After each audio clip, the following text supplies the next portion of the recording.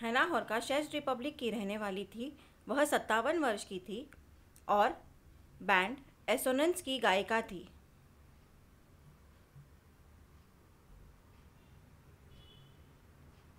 उसका टीकाकरण नहीं हुआ था और वह टीका नहीं लेना चाहती थी। हालाँकि उन्हें कोरोना हो गया और उनका निधन हो गया। क्या हुआ? उन्होंने जानबूझकर खुद को संक्रमित किया था। मैं आपको इसके बारे में बताती हूँ। शेष रिपब्लिक में कोरोना के मामलों की संख्या बढ़ रही है। इसलिए देश ने फैसला किया है कि मॉल, स्विमिंग पूल, थिएटर आदि में जाने के लिए उन्हें पूरी तरह से टीकाकरण कराना होगा।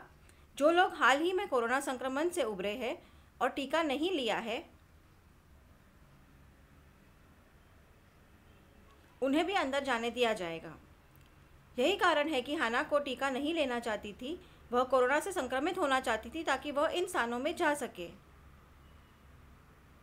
हाना के पति और बेटे जान रैक दोनों को टीका लगवाया गया था, लेकिन फिर भी क्रिसमस के दौरान वे संक्रमित हो गए और उन्हें क्वारंटीन किया गया।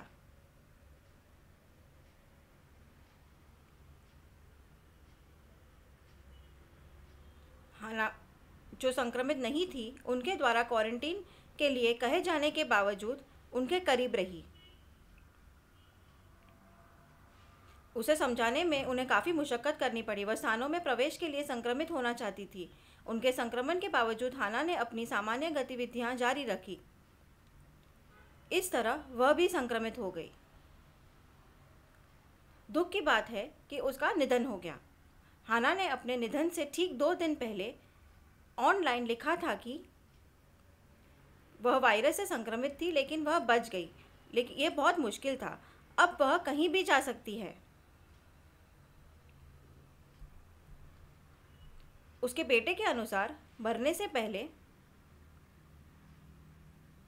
हाना पूरी तरह से ठीक हो गई थी। उसे पीठ में तेज दर्द का अनुभव हुआ और वह दस मिनट के लिए लेटना चाहती थी।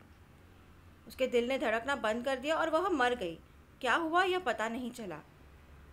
हाना समझाने के बावजूद नहीं मानी। एक टीकाकरण विरोधी नेता ने हाना को जानबूझकर संक्रमित होने के लिए प्रभावित किया था।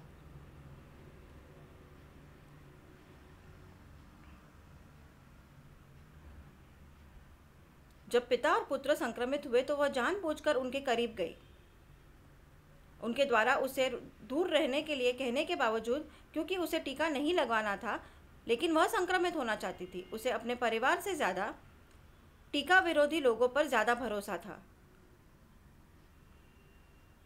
बेटे ने कहा कि उसका दिल टूट गया है, लेकिन वह फिर भी इस कहानी को साझा कर रहा है